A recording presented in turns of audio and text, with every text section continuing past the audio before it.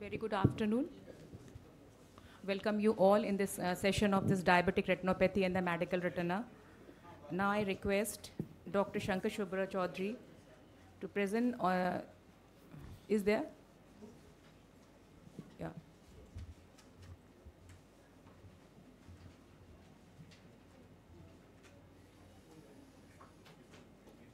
A very good afternoon to respected uh, judges and the, the delegates present over here. I am Sanko Subra Chaudhary, here to present a cross-sectional comparative study of the outer retinal layer thickness in newly diagnosed patients with hyperthyroidism. Uh, greetings from RIO Kolkata. Now we all know that thyroid hormone is uh, responsible for growth, differentiation, maturation, as well as apoptosis of a normal cell. So it also is responsible for the growth maturation of the rods and cones, mainly the photoreceptor cells. Now, if a thyroid hormone uh, is expressed morely, then there is uh, excessive, uh, leads to excessive photoreceptor both in healthy and diseased retina, whereas suppressing the thyroid hormone, there is a preservation of the cone and cone cells. And this has been well established in a study published by Ma, Ma et al., uh, which has shown that in Leber's congenital amaurosis and in case of achromatopsia in mice models, if there is a suppression of the thyroid hormones, then there is a preservation of cones. And this study has been the basis for my study.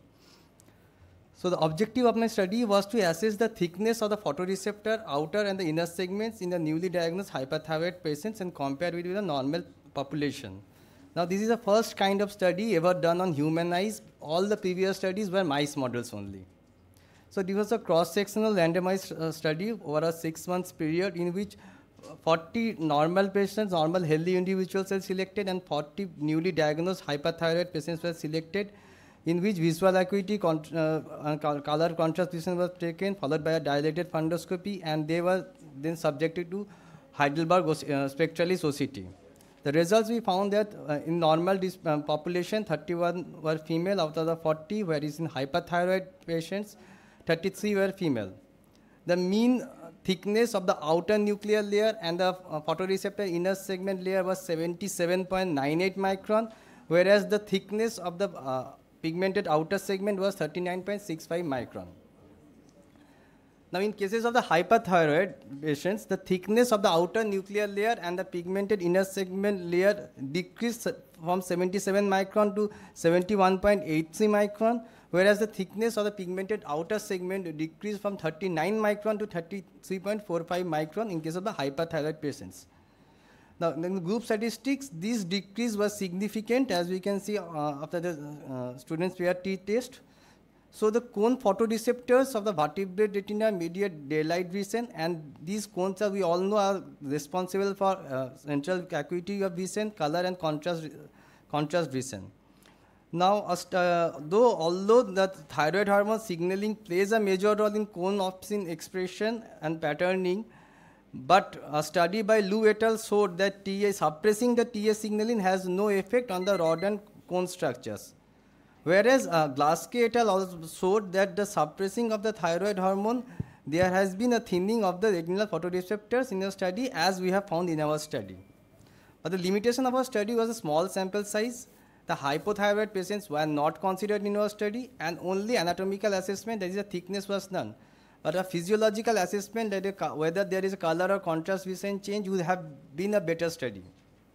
So the technique message is that since cones play a significant role in maintaining a good vision, a thinning of the photoreceptors layers may be responsible for the reduction in contrast sensitivity as well. So there is an early detection uh, of change, early detection in the changes of the retinal thyroid, uh, retinal layers in case of a hyperthyroid patients may guide the physician to prevent significant uh, vision problems. And another most important thing is if we, whenever we can see there is a thinning of the photoreceptors, a differential of hyperthyroidism should be made. These are my differences. Thank you.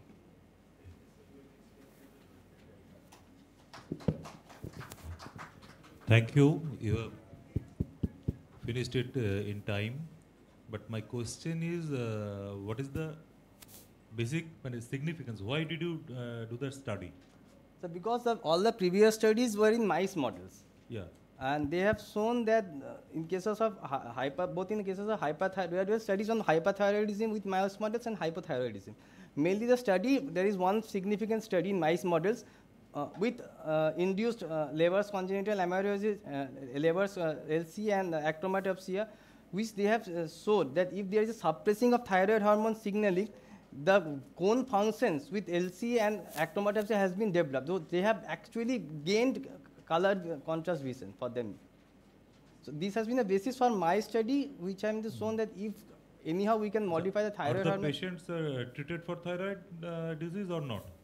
For the mice models, they have been treated with thyroid, and th- both thyroid suppressants were given and, and, and CC agonists were also given. Okay. No hu- human study has ever been done. No, no. Uh, what is the result for that in the mice study? My study, uh, there is shown that with LC and with uh, achromatopsia, Uh-huh. the cone function has been bettered. Okay. You are, uh, you have, uh, you are uh, telling that in any patients with the photoreceptor uh, abnormality, you should think about thyroid. That was one line. Uh, one differential One should, differential. should be That- don't you think considered. That is far-fetched, because yours is a small group. Huh. And you get every CSR or every patient, you will get a No, sir. I, I am. I am not. uh, For CSR, there is obvi- obviously the diagnosis of CSR or for CNVM, but if we can see the more or less there is healthy retina, just there is a. All other uh, uh, uh, diseases like CSCR, everything, when you included in the study? No, sir. Ah, So that is a big uh, bias. Hmm.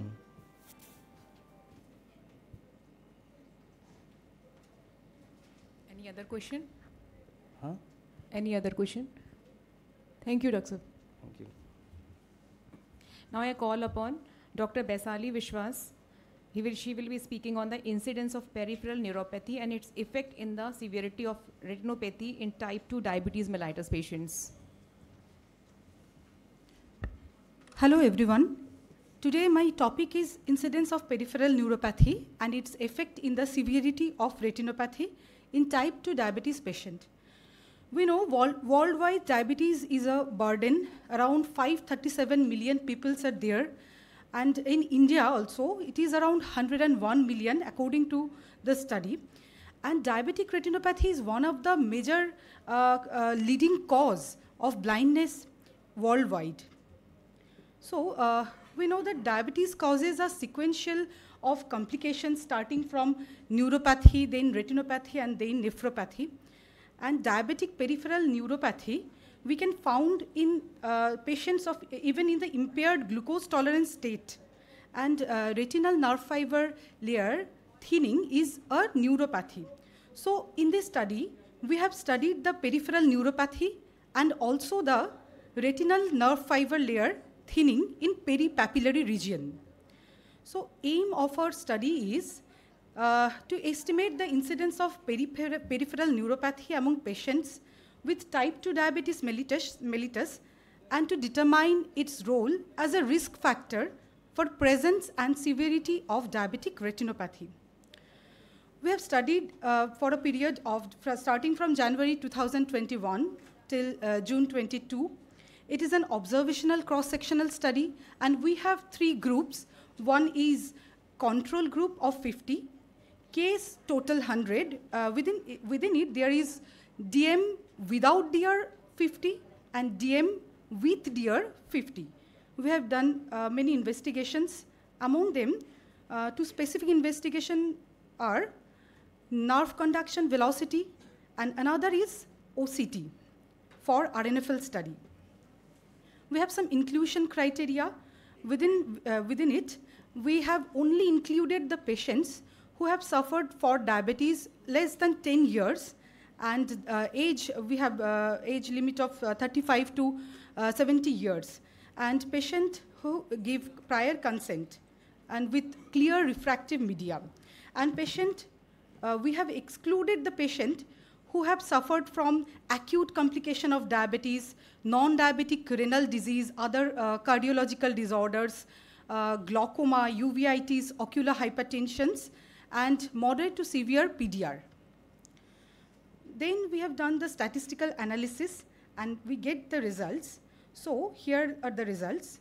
We get the result that motor nerve, upper limb, and even the lower limb latency was increased in both the group, second, that is DM without DR, and DM with DR. In the third group, that is DM with DR, the uh, latency was increased more. And when the amplitude, the amplitude was decreased in second group and third group, that is DM without DR and DM with DR. But the more decrease of amplitude was present in DM with DR group. Uh, this was also the same result we have found in sensory nerve upper limb and lower limb, both in latency and amplitude. Another uh, result we found that OCT RNFL peripapillary uh, layer thickness was thinned out in both the groups, that is DM without DR and DM with DR. But the thinning was more in the third group. Even the thick, thickness was around uh, 63 to 72 micrometer uh, in this range. So we can conclude here that we have, uh, uh, we have found some uh, positive correlation between decrease in peripheral nerve conduction velocity with increased severity of diabetic retinopathy and another positive correlation between decrease in OCT RNFL thickness with increased severity of diabetic retinopathy. So we can conclude that both the peripheral nerve conduction velocity and OCT RNFL can be used as a marker for prediction of early neurodegeneration in diabetic retinopathy, uh, diabetic patients, sorry. And we have some limitations. Uh, I have a small sample size and this is single center study. There was always a hospital bias and it was COVID pandemic period, so I cannot include the diabetic nephropathy patients. These are all my references. Thank you.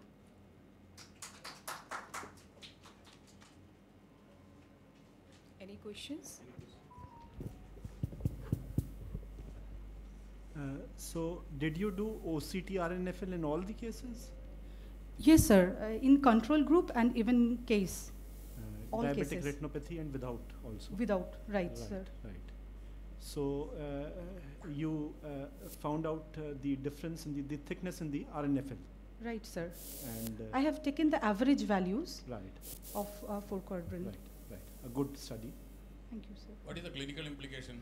Uh, sir, uh, we can uh, use the OCT RNFL thickness and uh, nerve conduction velocity as a marker, right? Uh, uh, even in the impaired glucose tolerance state of diabetes, early state of diabetes, But uh, both are confounding factors, right? That neuropathy and uh, uh, retinopathy, right? both are related to the duration of the diabetes usually. Yes, and, sir. uh, latent diabetic patients will not have a neuropathy problem.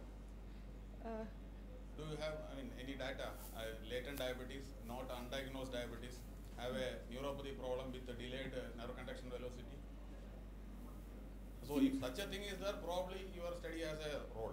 Otherwise, uh, both are confounding factors, neuropathy and retinopathy. Oops. That's what I. Excellent presentation, Dr. Bashali. Now I, Thank thank you. you. Now I request Dr. Brijesh Takkar for the presentation.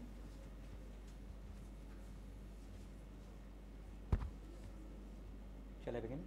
Yes. Good afternoon. It's a hot environment. Let me try to cool it a bit. So I'm Rajesh from Hyderabad, and these are my disclosures. The, this study is actually funded by LV Prasad Eye Hospital funding mechanisms. The acknowledgements are right there. So why am I looking for alternative avenues to stop diabetic retinopathy? The fact being that there is metabolic memory which is going on and on in our body. The census in our country showing that most of the Indians don't know that they have diabetes, and if they know they have diabetes, it's not controlled. The fact that we have only invasive therapy for diabetic retinopathy, the fact that we do not have a secondary level prevention for diabetic retinopathy, and we still have a high rate of sight-threatening diabetic retinopathy in Asia. After everything done, we need to look for something else. And why I chose microbiome, the fact being that it is something which can be offered as a non-invasive therapy to our patients. So why to look at the gut? So we started look at, looking at the gut. We looked and we looked. If you can see my cursor, we looked at rats. We looked at humans. We drew these heat maps. We showed that the people with diabetic retinopathy they seem to cluster together. They seem to come together. They have a different kind of microbiome in their gut as compared to healthy controls or diabetic, diabetic people with DM without DR. But what is the link? So here I took the help of my fellows and we started looking at what are the possible mechanisms. Why the gut? Why the eye? How come they are linked together? We shouted out these six, seven mechanisms. We shouted out the detailed biomolecular mechanisms and we started believing that yes, it is possible. But if it is possible, what is there inside the eye, which is a research question that I come up with here today. And we started looking whether there is an evidence of microbiome there inside the eye as well. So this was a pilot study in itself, uh, not done before, and we included people who were undergoing cataract surgery, and uh, we took out their aqueous, we ruled out signs of open globe injury, signs of intravitreal injections, anything which could have introduced a microbiome inside the eye, we tried to exclude it. We screened 22 people, we included 17, and we analyzed 12 people as we lost some of some of the samples which were not amenable to laboratory analysis. We balanced out these people in terms of their diet using the help of United Kingdom Diabetes Mellitus Questionnaire we uh, uh, we put this across uh, across the laboratory. We took out the microbiome DNA. We removed the human DNA. We did amplification of the DNA of the microbiome. Then we sequenced it using techniques known as next generation sequencing. And then we finally came out with the fact that these are the microorganisms which are actually present. After that, for a quality check, we did negative controls. We made a very rigorous samples, uh, sample collection. We drew rarefaction curves. This is a rarefaction curve, which is very typical of any microbiome, which tells you that the study was done with good amount of quality. So these are the results. So what are the results?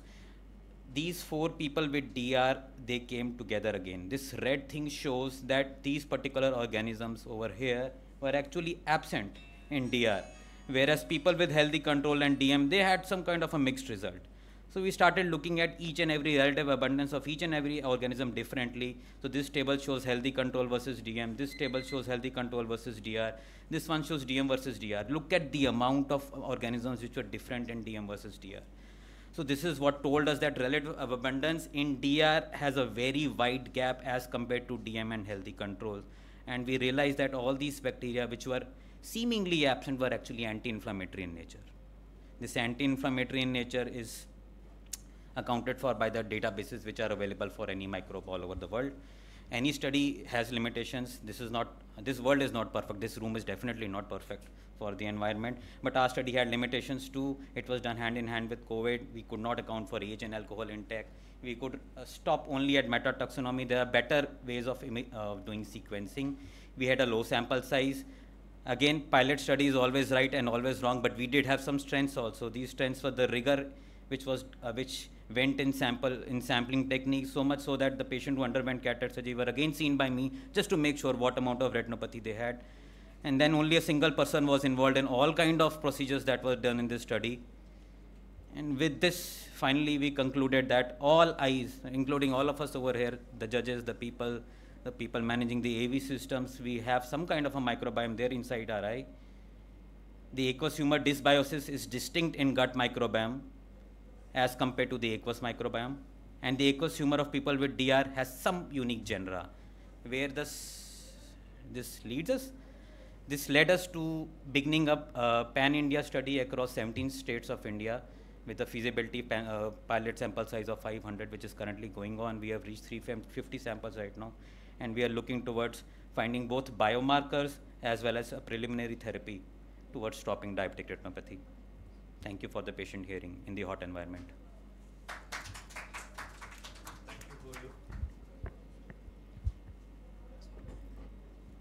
Thank you for your nice presentation. Uh, do you want to publish it? It is published. I showed in the second slide, I think. Okay. Sorry, I missed it. Yeah, it's published. Then you can present in the. No, I cannot take award. I can present. Uh, you can present, Okay, sorry. I just wanted to share my data. that's okay. And then the preoperative uh, antibiotic use for cataract surgery, will it affect the microbiome? So we uh, do not use preoperative uh, antibiotics. We just use topical betadine just before the cataract surgery. That is the protocol, and nothing else. Sir. Uh, you said uh, uh, there was a different microbiome in DR cases. So, uh, uh, which could probably be uh, inflammatory. So, In DR, it was anti-inflammatory, sir. right, right. The people who had DR, they had loss of anti-inflammatory mi- microorganisms. Correct. correct. So, uh, how, how do you say that uh, those were anti-inflammatory? Yeah, so this is uh, from the database of the organism which is here, there, everywhere, but not inside the eye. The function of all the microorganisms inside the eye is never tested. So to do that, we are doing this next study. So we are looking for, you know, RNA transcriptomics. We are looking for metabolites inside the eye to say that, no, we found this. But just to say that my hair is over it does not mean that I, I committed the murder. There has to be some evidence between my hair and the murder. So we are trying to look for those things. So this comes uh, good, I think, uh, with uh, something like probiotics, something we. Yes, sir. You can prevent diabetic retinopathy. Yes, sir. More than that, if we feed our mothers with good things, the three generations next may not have diabetic retinopathy. Thank you. Thank you. Thank you so much. Really, it's a nice presentation. Hats off to you. It's a very nice and a very informative uh, presentation. Now I request Dr. Aruna AC.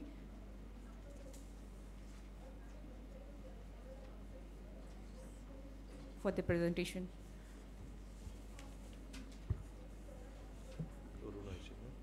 Uh, your topic is an analytical uh, study on inner retinal layers thickness in the type 1 diabetes without retinopathy.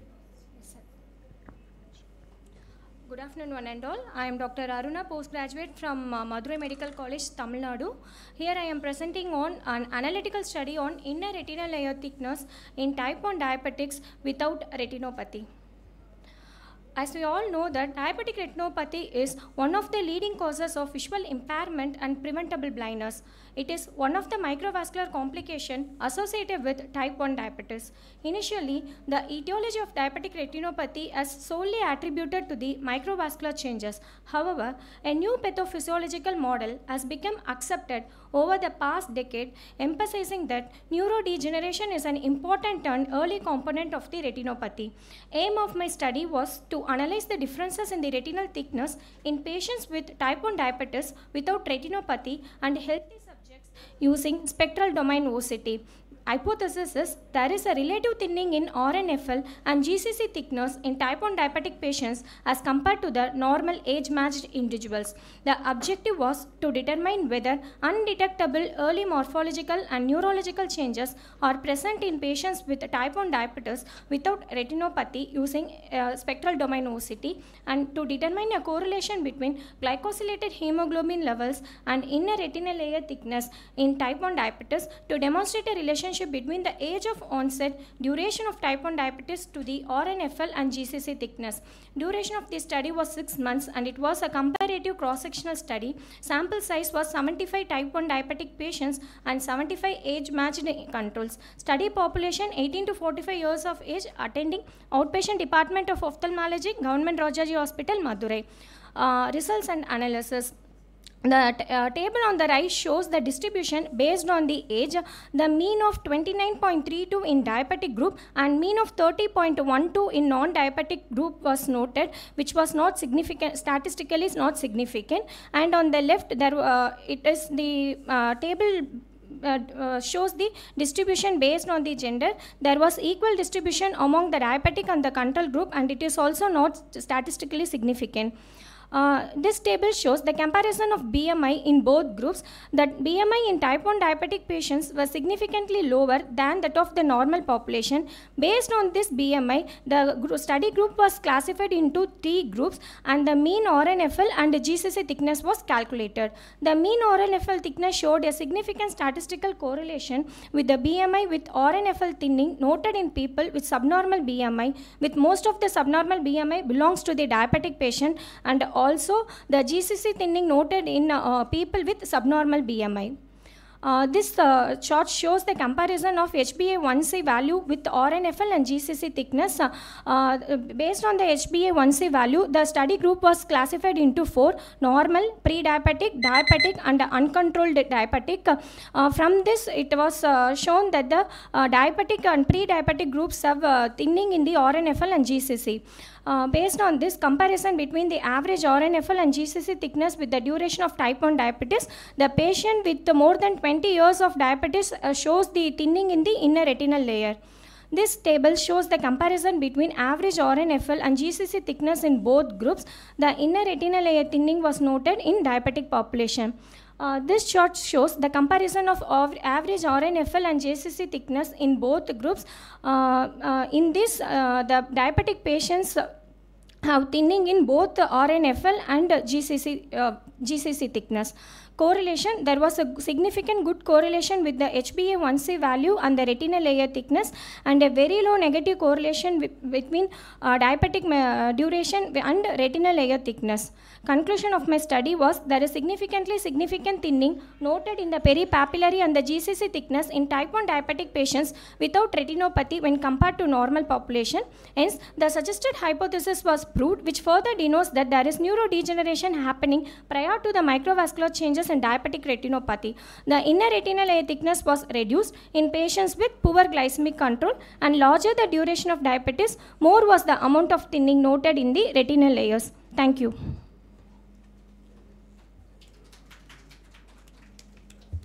How did you calculate the sample size? 75, 75 is too less, no? Yes, sir. It was one of my limitation of the studies, sir. Uh, when you calculate some, the same uh, findings are there in some other studies. They have also 50, 70. 75 is too small Yes, sir. calculate a sample size.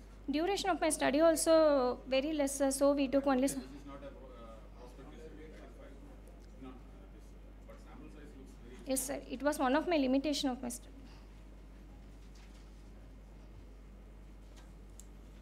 Thank you, Dr. Any other question? It's a good presentation. Thank you. Thank you. Now I will. I am call, calling upon Dr. Ajay Dudani. He will be speaking on a study of correlation between severity of CSCR and severity of association psychiatric disorders. Thank you very much. So this is a study which I'm uh, ongoing since long time. So we know what is CSR. It's an idiopathic neurosensory retinal detachment affects young males commonly in type A personality corticosteroid use and psychosocial disorders like depression and anxiety is seen in these patients. And the treatment we know it's a, usually a self-resolving condition. It requires laser or PDT in most of the cases. This was our study which was published in which we did a psychiatric evaluation of patients with CSR in Asian Indians, and we found that you know, in these treatment naive CSR patients, almost 77% had mixed anxiety disorders, 12 had adjustment disorders, and the rest had major depressive disorders. So this was a prospective double-blind trial which we had done. So after that, we uh, you know took this to the next level, and we thought that you know they were treated with anxiolytics by the psychiatrist, and we found that the resolution with either etizolam or acetoplar- uh, acetoplarozam, which is a SSRI inhibitor, led to a rapid resolution of the fluid. Normally, the fluid resolves in about two to three months, and we had a resolution almost a month in these patients. So this is the hypothesis which was initially proven by, uh, was discussed by Yannuzzi that you know stress leads to in- increased glucocorticosteroids, which leads to CSR. And so the young population, typically the you know type A personality, and there's maybe there's increased norepinephrine and sympathetic response, which leads to a pachychoroid also, and that's why PDT works in these patients. So this is the uh, basic etiopathogenesis which was discussed by Yannuzzi et al. And the other theory is the vortex when uh, increased congestion. So this was a study of the correlation of the severity of CSR and the severity of the associated psychiatric disorder. This is the second part of the first study which we published. So this we did the uh, study of the socioeconomic profile of the patients and their DAS scores. You know, the DAS score compares the the anxiety, stress, and depression score which is done. It's a it's a sort of a questionnaire which we give to the 33 patients which we had, and we had 33 controls in this. Over two years, we did this in young patients who presented to the OPD with CSR. After thorough examination and FFA OCT, a DAS scoring was done, which is a, you know, you give a questionnaire to the patient and he responds to that, you know, saying whether it, it was it was discovered by Lovibond et al. in 1995. There is a three self-reporting scales of depression, anxiety, and stress, and they can again be classified into the gradations, you know, from zero to three. So the patient will decide, you know, depending on how he feels. It's a personalized sort of a questionnaire which we give to the patients. So the results which we had in this group of patients, which we saw that the most affected was the socioeconomic upper lower class. You know, means like the not the totally lower class, the middle class. What you can say, the you know the the the, the uh, middle class of the patients who were economically not very bad off. The acute cases in younger age group, while chronic cases were more seen in the elder age group. Psychiatric morbidity was significantly associated almost 60% of the patients with a P significant value. and a higher score of DAS significantly with a larger area of associated detachment which we saw. So this is a graph which is showing you the CSR patients are in blue and the controls are in brown. So you can see that the, the, the severity of the psychiatric disorder was seen more in the patients with the CSR group. And the area of the CSR subretinal fluid also was associated with the severity of the psychiatric morbidity which was seen. You know, these, these are the different sizes of the fluid, small, medium, and large. So this is the detailed psychiatric evaluation also was done as a follow-up of this after the DAS study. And this was the basic detailed diagnosis which was done. So the, the psychiatric OPD was also blind to what the patients had, you know, they were just sent for this. So this is few of my cases which I want to show you, you know, which showed a rapid response after treatment by the psychiatrist with anxiolytic drugs, you know, and the rapid resolution of these cases. This is the second case. And normally we get resolution like this patient had extensive subretinal fibrin as you can see, but there is flattening. It's not that all patients resolved. Some of the patients did require PDT in chronic cases of CSR. And here you can again see that there is even, you know, resolution of fluid after some time with these patients having constant therapy with anxiolytics. This is a patient, again, a 40 year old man with CSCR with pachychoroid disorder, and he's remained flat with anxiolytics.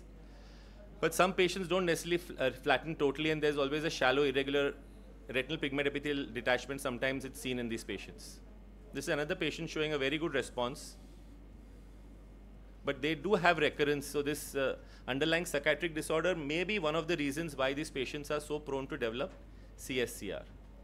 So the conclusion which I laid in my this study, which the first paper and the second paper with the DAS study is that stress is relatively common among these young patients.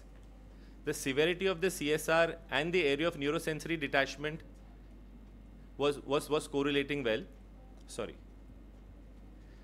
Uh, we require definitely a larger sample size to have more, uh, you know, rather than, this is just a hypothesis which we have said and we have tried it out in various patients and have had good results, but to, we should have a better sample size. And, and you can go on to DAS 41 score is also there, which is a more complex, uh, you know, nomogram where you can study yourself sort of. Thank you very much for your patient hearing. Thank you very much for your nice presentation. But my question is, uh, only anxiolytic or do you need some eplerenone like drugs? Yeah, so actually, sir, what the eplerenone drug also is like a anti-mineralocorticoid drug, you know. Yeah. So the here we are thinking that the corticosteroids are the main driver, as I showed you, the stress leads to this. Mm-hmm. So these anxiolytic drugs are working to reduce the glucocorticoid level. Yeah. Because it increases noradrenaline also is what has been shown in these patients, you know, Mm-hmm. due to the st- high stress levels. So I have not done eplerenone in my patients, sir. They've only received anxiolytics, which maybe is. Only working on- yeah, which is work, we- maybe working on the glucocorticoid pathway is what the hypothesis is. But the sample size is small, I think, you know. Yeah. But clinical experience has shown very gratifying results because in acute CSR we don't have any treatment to these patients, you know. Yeah. So this is one thing which we have done clinically also. We've done everything empirically. Yes, sir, yes. But this, sorry, yeah. Uh, yeah, actually, with the DAS score, Yes. can you tell a patient is psychiatric? Yeah, so no, that, that's what, so we didn't want to. If, if I get a CSR tomorrow before going, going to the OT, I will get damn stressed and my DAS score will be 25 20 yeah right right. No so what we had what we did no so this was the second part of the study. The first part as i showed you all we had referred this patient as a double blind trial to the psychiatrists and after that we decided to compare that whether the severity of the csr correlates to the severity of the stress. Like you know you can have either anxiety Yeah. Or you can have depression or you can have stress you know the three gradation so this DAS score is quite a intensive s- score you know which has They should be followed up with the uh, psychiatrist and then after it resolves. Actually, yeah, actually what, you know, we, we did the DAS score and then we sent them to the psychiatrist also and they started the anxiolytics in this study also, the response. I didn't start. But in my private practice after this study, I'm, I'm giving my patients at least a mild anxiolytic when they present to me. Stress causing? So it's a vicious circle. So I've seen that initially a stress will precipitate CSR and then later on a chronic CSR becomes the major stress in his life because his as has some monetary problems and then the vision loss is becoming a secondary problem. So I think it's a vicious circle which you can break with this drug. Thank you, sir. Thank it's you, a thank very you. good presentation. Thank you. Now I call upon Dr. Chirag So it will AB. be e- economically viable if we uh, use the anxiolytics. Yeah, it is वो जो psycho दो Yeah, we didn't we, we didn't do that study actually of uh, you, you know measuring the glucocorticoid levels, but that has been done in various studies. Okay. They have been actually published that there is a higher level of glucocorticoids in these patients, levels in these patients with CSCR. तो psychiatrist हमारा patient नहीं खा जाएगा so, so that's what. So, so this was. I just. I, I. No, I wanted to tell you this was. No, this was done in a tertiary medical college. Yeah. So we have a ophthalm and a psychiatry OPD just nearby. So it was done in a medical college. Yeah. In private, I'm not doing it, frankly, to tell you, sir. There is no evidence, actually, even mild evidence for anxiolytics in CSCR. You take the evidence-based medicine. I totally agree with you. I totally agree with you. So you know that you, you know what got me thinking is the uh, Lawrence Yannuzzi's article. If you read, no, there is an article which he has said. So that's why I took it to the next level, and we found results. You know, in my clinical patients, clinically. So. Require more cases. Yes, I definitely require more cases. Yes, sir. yes. Sir. Thanks, thanks. Thank very you very much. Thank you very much. Sir. Thank you. Now I call upon Dr. Chirag Ebi. Not there. Dr. Chirag Evi, are you present? So I'm calling the next person.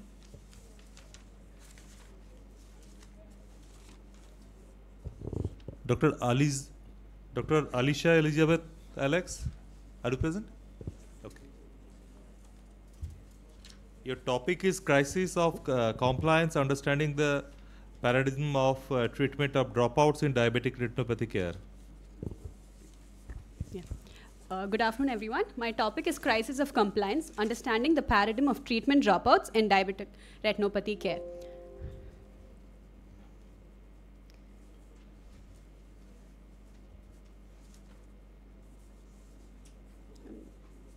I'm not able to move my slide.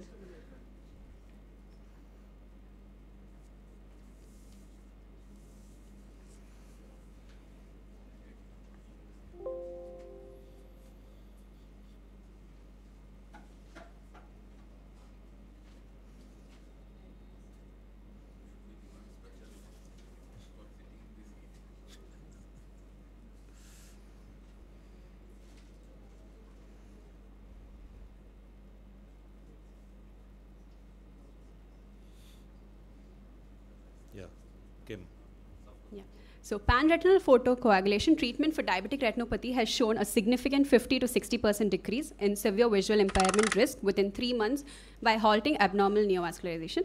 And the introduction of anti-VEGF injections has had a transformative impact on managing diabetic retinopathy. So though diabetic retinopathy is mainly treatable, complications arise when patients fail to follow up cons- consistently. So in this study, loss to follow-up was defined as any missing as missing any follow-up visit for any interval exceeding six months, provided that the patients eventually resumed care before the end of the study period. There may be several untold factors that may lead to uh, not to follow up. However, some notable influencing factors may be affordability of the treatment and need for multiple sittings or injections. So the objective of my study was to estimate the proportion of treatment dropouts among diabetic retinopathy patients receiving anti-VEGF therapy, multiple laser sittings within one year of starting the treatment. And it, the second objective was to explore the factors associated with the treatment dropouts among these patients. Uh, it was a prospective interventional follow-up study conducted in a tertiary care hospital uh, in Kolar uh, over a period of one and a half uh, years. And all diabetic retinopathy patients undergoing anti-VEGF treatment or laser treatment who presented to the OPD was uh, uh, conduct, uh, evaluated in the study. A total of 112 patients were taken. So all these patients were subjected to uh, the routine screening tests and investigations, and they were characterized in, uh, categorized into three groups. That is anti-VEGF group, laser group, and both anti-VEGF and laser group. The number of their PRP sessions and the injections were assessed, and the follow-ups were uh, assessed.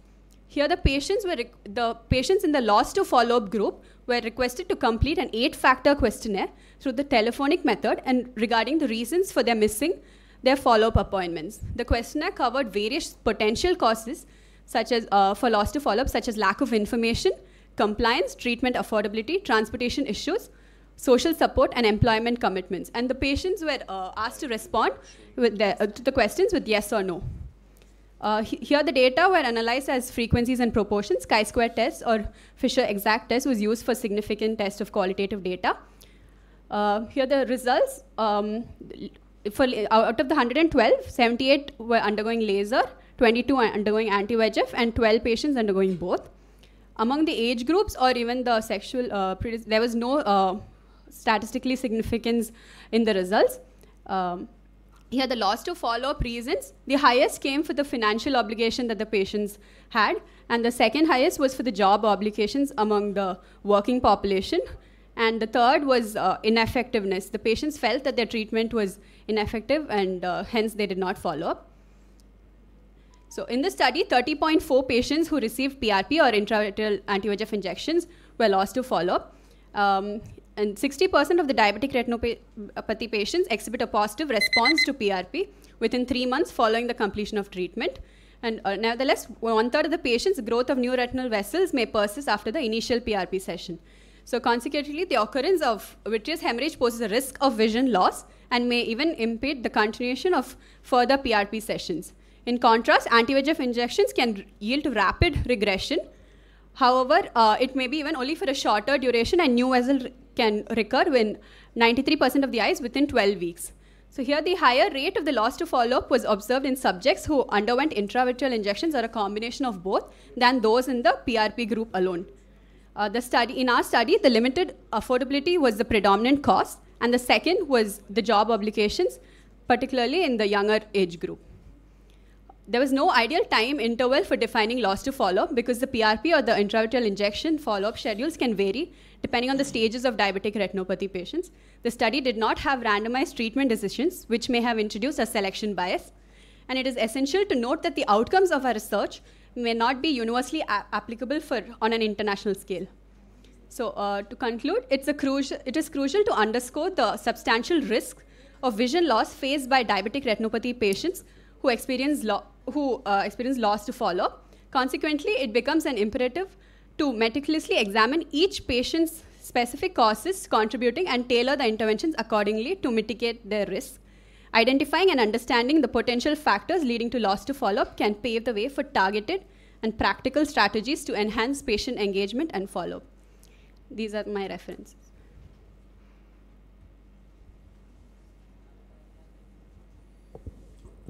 Not moving. Thank you very much. Are you giving free injections to the patients?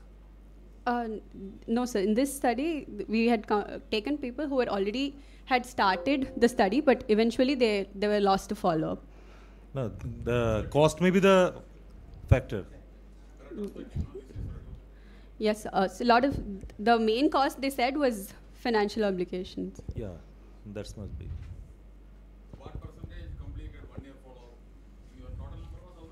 112, sir. What percentage complete had one, uh, all of them had uh, lost to follow after three months? No, sir. Only about 34 had lost to follow. The rest had followed up. And out of that, the major cause was financial or job obligations. What anti-VEGF you have given? We have given ranibizumab. Ranibizumab only. Any other question? Any other question? Thank you, Dr. Thank you. Thank you very much. Now I will be called upon Dr. Rishikesh Deshpande. Dr. Rishikesh Deshpande is present. He is also absent. Our next speaker is Dr. Ruchitra Chaudhary. Dr. Ruchitra Chaudhary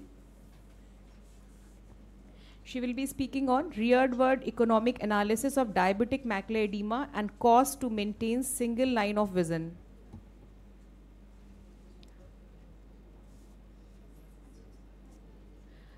Good afternoon, everyone.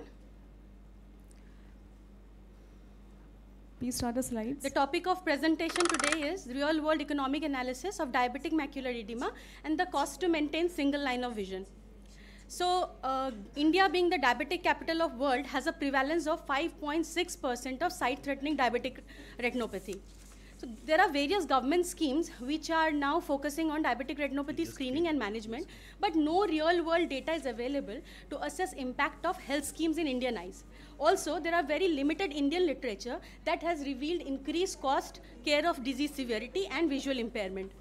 So our aim is to understand the real world economic analysis of diabetic macular edema and the cost to maintain single line of vision and also to assess the impact of government health schemes and community programs in diabetic macular edema care.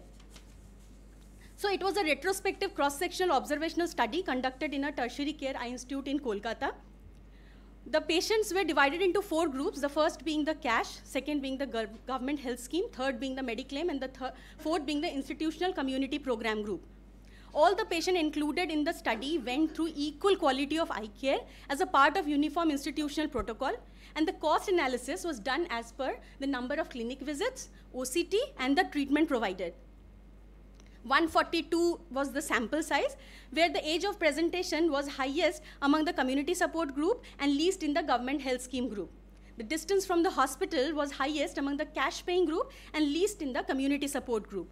The duration in diabetes was highest among, again among the cash paying group and least among the community uh, support group. The duration of follow-up in months was highest among the cash paying group, followed by the community support group, then the Mediclaim group the BCVA at final visit uh, had the uh, highest uh, number in the community support group and then the cash paying group. The central macular thickness was highest in the cash paying group again followed by the uh, government health scheme group and least in the community support group. The total number of anti-VEGF given was highest among the government health scheme group followed by the community support group then the Mediclaim group. The total cost that incurred over two years in Mediclaim group was about 15 lakhs, whereas in cash paying group it was about 13 lakhs, and in the government health scheme it was 29,000. The functional outcome was maintained and improved in the final visit in maximum of the patients, and there was very little intergroup variability seen. So the mean cost that incurred per year was 70,000 INR for those who had Mediclaim and for cash paying groups. Now we have seen that government efforts are primarily focused on cataract blindness, but few are now also focusing over diabetic retinopathy blindness. So there is no real world data available in Indian eyes to assess the outcome of interventions in diabetic macular edema. And if we now uh, talk about the annual screening of diabetic retinopathy, we spend about 42.3 billion INR every year. And if we talk about 20% of such patients who need treatment, then 2.9 billion INR is spent. And if we don't, the estimated lost economic activity per year is 472 billion, billion INR. So uh, there was only one Indian study where the mean cost incurred was 60,000 and the factors affecting outcome were grade of retinopathy, duration of follow-up and the distance, but they did not evaluate the impact of health scheme. In our study, the cost of treatment over one year was 70,000 INR and the maximum vision gain, maximum number of injection and maximum duration of follow-up was in community support group and the government health scheme group. So it is important to remember that India uh, per capita income is 98,000 INR in 22-23 whereas the current average cost of DME treatment over a year is 70,000 INR. So definitely there is a need for government and community support in diabetic macular edema care. So this provides a valuable data for policymakers to optimize government funding for diabetic retinopathy treatment because this study is underlining the real world efficacy of government schemes and community support programs. Still, we have some limitations, like it was a single-centered retrospective study with a small sample size. And I would like to conclude with that government schemes and community support programs can definitely help the underprivileged patients to get same level of outcome as Mediclaim and out-of-pocket pocket patient, cash patients. And this study is definitely going to provide a framework for policymakers to allocate funding for diabetic retinopathy care. Thank you. Thank you for the nice presentation. But I, uh, I know you see lots of patients there in Netralayam, isn't it? Anyway, any questions? The visual acuity was best in community. Yes, sir. Uh, sir, it. Um, No, is there a connection between loss to follow-up and, um, sir, community. yeah. I mean, it is uh, loss to follow-up in the all four groups? Uh, so there were lots to follow up, but what we in, uh, included in the, the uh, one of the part was in inclusion criteria that we wanted to include all uh, those patients only who have taken a tot- at least a minimum nine months uh, treatment, sir. Only those were taken, sir. There were lots to follow because be- in between second uh, term of pandemic came up, so there were lots to follow ups also. Yes, sir. Thank you, ma'am. Thank you. Now I call Dr. Chaitra Jayadev. she will be speaking on ret- retinopath relationship of immune factor level between vitreous aqueous serum and tears, the vast study. Good afternoon, esteemed judges and my dear friends. Today I'll share some interesting insights into research that we have conducted at Narayana Nethralaya. We already know that 101 million diabetics are there in our country and 21 million are already at risk for sight-threatening complications of diabetic retinopathy. So there is an imperative need for a definitive treatment with the least number of invasive injections. Vitreous biomarkers have already shown us that they can predict who can get the disease and what is the best possible treatment outcome for these patients. But testing the vitreous is rather risky. It's a small surgical procedure itself. So why not use something like tears or even aqueous, which is available to us when we are injecting these patients? Or better still, why not blood? You know, every other di- day, but diabetics check their blood for their blood sugar levels. So that's a feasible option. Which is why we came up with this bright study to look at all four samples and compare the different biomarkers that we see in these four and see how strongly they correlate in the vitreous aqueous serum and tear study. We employed 22 patients who were undergoing vitrectomy for complications of PDR, and we collected all four samples on the same day as the surgery itself. This is in brief on how we conducted the study. In our in house grow lab, we stored these samples, we segregated them, and we finally analyzed them for soluble factors such as cytokines, chemokines, ICAM, VCAM. So, these are all the biomarkers that we looked at, and we looked at 53 biomarkers. We used different quantifiers because one was not able to pick up all of them, and we found the absolute concentration at the end of it. Now, what you see here is the plasma had the highest level of uh, protein content, and we used a technique called as normalization to make all four of them comparable. What you see here on the right is something called as a principal component analysis, which shows that those biomarkers that came from ocular fluids are grouping together. This gives the component of or the concept of organ specific sampling, which I'll speak about.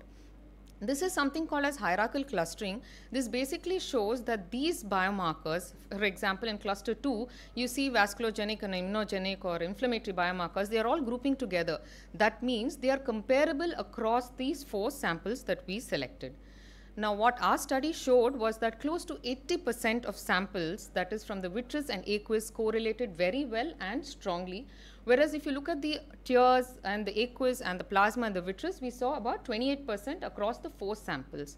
On the right, you see a very complex Sankey plot. This basically shows a very in, uh, interesting interplay between the combination of these different samples and the biomarkers that we studied. Now, what we are trying to show here in the red arrows are the clinically significant biomarkers that we found. And what you will see here is besides the usual suspects of VEGF and angiopoietin 2, we are also seeing a whole lot of other inflammatory biomarkers itself. Yes, we had, you know, some challenges where we had to collect all four samples on the same day from the same patient and especially across different diseases. That was a little difficult. And of course, we must understand that systemic, uh, you know, wish issues will have a bearing on these biomarker profile. But testing is repeatable and I'm sure we'll be able to find good targets and make it even personalized for our patients. This is the first study that showed a strong correlation between vitreous and aqueous with 80%. We also saw a good correlation in tear samples with the spillover that we see. Organ specific sampling, because of that grouping that we see from ocular fluids, may be a little bit more reliable from other body fluids, but there is definitely a role for surrogate sampling with these minimally or non invasive samples. Let me show you a quick example. This is a patient with diabetic macular edema, and you can see the response after anti VEGF. Patient was not very happy. We looked at the aqueous that we had collected at the time of the first injection. You can see that the VEGF levels are very, very low. Intuitively, we switched the patient to steroids, and you can see a fantastic response. Now, imagine this other lady. She's come to you. She's very, very scared of injection. She's like, Doctor, I need just one or two. Please cure me with just that much. Now, this is her biomarker profile. When you look at this, you'll say, Why don't you try steroids? She might respond. VEGF again is low. Lo and behold, we did go ahead with steroids and look at the response. Fantastic. Now, imagine the situation that this patient this biomarker profile you got even before the first injection, and that too non invasively, either from her tears or from the blood. Won't it just be fantastic? So, friends, the future is bright. We are on the brink of personalized medicine, personalized or bespoke ophthalmology, where there's a non invasive biomarker that is repeatable and can help not only monitor progression for our patients, but can also predict which is the best treatment for our patient, thereby increasing their compliance to treatment. With that thought, thank you very much, and I acknowledge my team. Thank you very much for your nice presentation. Any questions from the judges or uh, audience? 22 patients. We had more, but the sample source was adequate for testing only in 22 of them because sometimes the tears uh, from the Schirmer strip was not adequate. Uh, you are further doing studies to uh, see for more biomarkers? Yes, sir. In fact, we've already designed a biomarker kit, which is presented in other papers, wherein we are able to do it as point of care. You don't even have to send these samples to the lab anymore. You collect it in the clinic. It's like a dipstick test, you know, which makes it so convenient. Then and there, we are able to already tell whether this patient is going to respond or not. At our institute, we've already done it for dry eyes and we've got good results. Now the process is on for diabetics as well. You know, if you can just tell them from their blood sample, I think that would be the easiest. But like I mentioned, probably the ocular fluids are going to be a little bit more specific than uh, testing plasma, which has a high concentration of proteins. So with the tear sample or the aqueous, if you can tell them that this is your drug, anti-VEGF or steroid, I think it is going to be not only cost effective, but the patient would also be definitely more compliant. Thank you. Thank you. Thank you very much. Thank you very much, all the presentator, judges, and all the audience for their invaluable time. Now I request the, all the presentator and judges for the group photograph. There's one No, just one. Uh, Dr. Chirag is there? No, she's not, he's not there. Dr. Chirag? absent. Oh, He was absent at that time. you were, you were absent actually. He was absent at that time. I have written absent. He's Didn't coming. just have Okay, okay, crossed okay. it out and then. Okay, you okay. can- Please start your presentation. Okay. He'll be talking on subclinical central macular thickness and total macular volume with SDOCT and its correlation with HbA1c.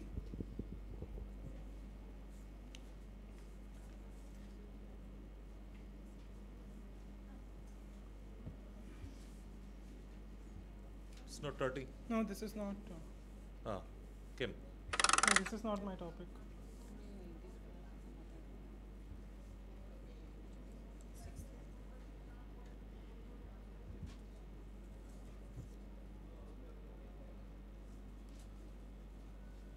Ah, just click there.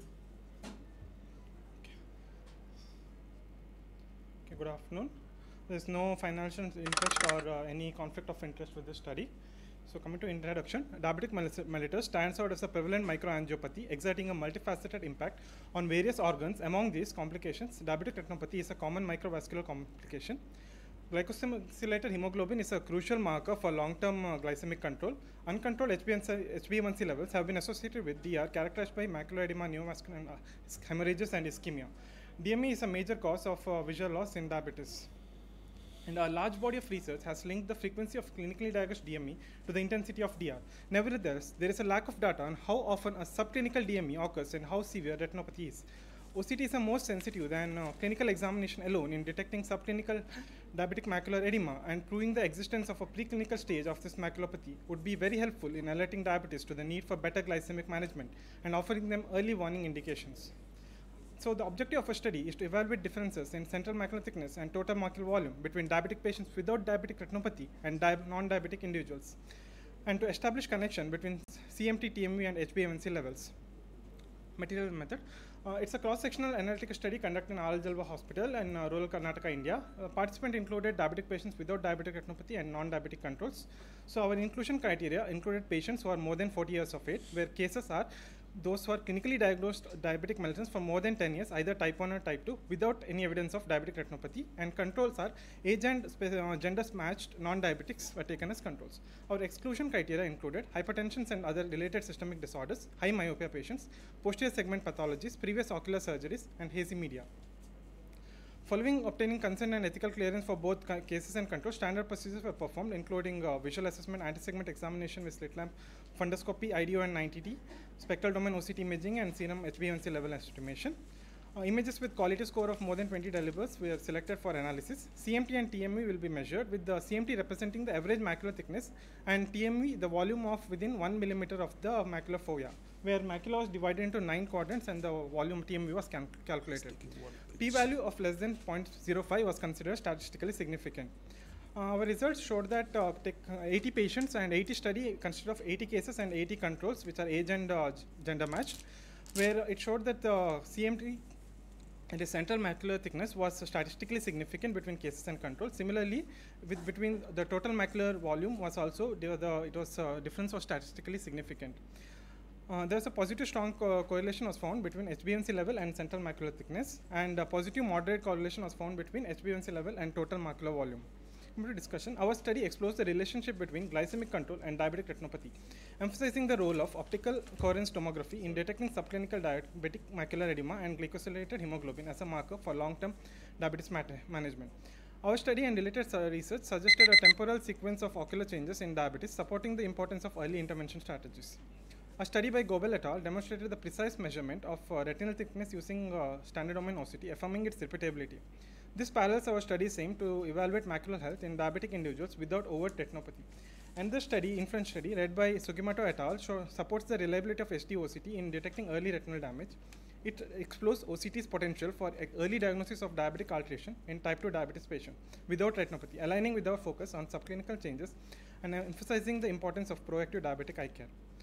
A study by Lingyung et al. indicates a positive correlation between chronic HbA1c levels and macular volume as well as macular thickness in individuals with diabetic mellitus lasting 10 years or more without diabetic macular edema.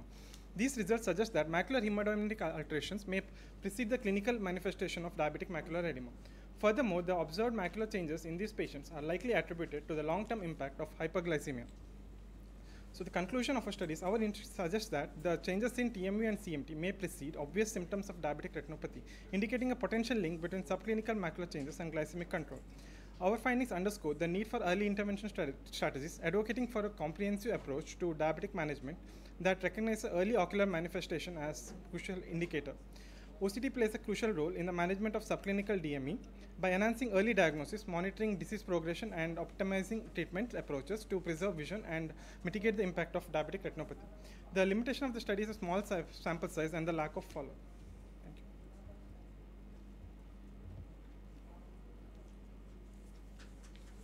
you.